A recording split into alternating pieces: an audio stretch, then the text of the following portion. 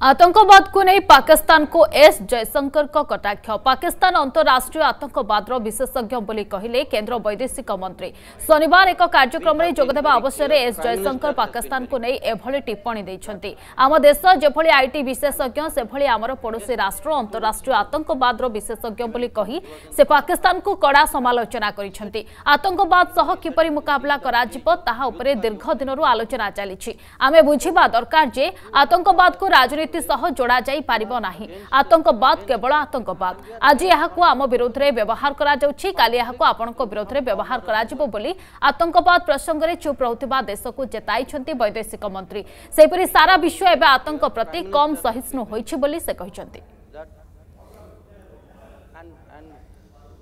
आतंकवाद जो है कभी आप ये नहीं समझिए कि आतंकवाद राजनीति है या कूटनीति है आतंकवाद आतंकवाद है। आज हमारे खिलाफ किया जा रहा है, कल आपके खिलाफ।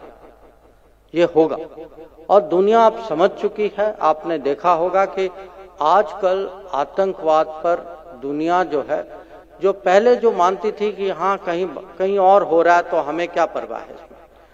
अभी इसमें हम दुनिया को एक किस्म से साथ लाने में हमें, मैं नहीं कहूँगा कि पूरी सफलता मिली है, पर पहले से जो है दुनिया की समझ पहले से ज़्यादा है। दुनिया आजकल कम बर्दाश्त करती है इसको।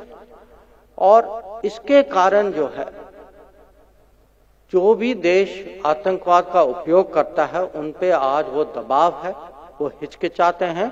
और कभी कभी जब कुछ करते हैं, उसका जवाब तो आप जानते ही हैं। तो तो ये भी एक मैं कहूँगा कि कूटनीति का एक उदाहरण है। हमारे चीन के बॉर्डर में भी आप पिछले दो साल से आप जानते हैं कि वहाँ तनाव का कारण क्या है। और उसमें भी मैं कहूँगा, बहुत विश्वास से कहूँगा कि ज़्यादातर दुनिया जो है, हमारी पोजीशन समझती दुनिया को पता है कि इसने, किस देश ने क्या किया है।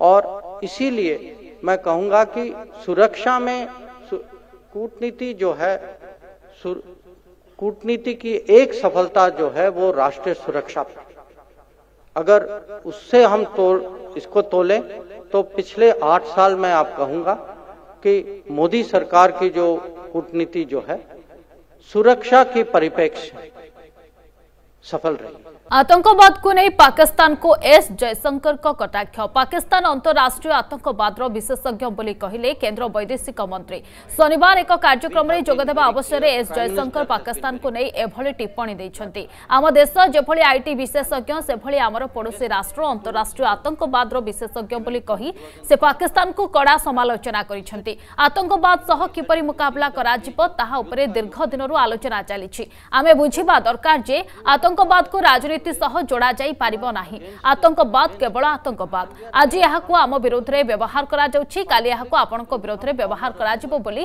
ଆତଙ୍କବାଦ ପ୍ରସଙ୍ଗରେ ଚୁପ୍ ରହୁଥିବା ଦେଶକୁ ଜେତାଇଛନ୍ତି ବୈଦେଶିକ ମନ୍ତ୍ରୀ ସେହିପରି ସାରା ବିଶ୍ୱ ଏବେ ଆତଙ୍କ ପ୍ରତି କମ୍ ସହିଷ୍ଣୁ ହୋଇଛି ବୋଲି ସେ କହିଛନ୍ତି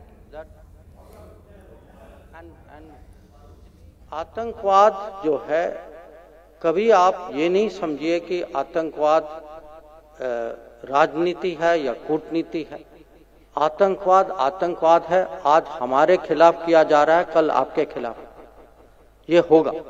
और दुनिया आप समझ चुकी है, आपने देखा होगा कि आजकल आतंकवाद पर दुनिया जो है, जो पहले जो मानती थी कि हाँ कहीं कहीं और हो रहा है तो हमें क्या परवाह है इसमें?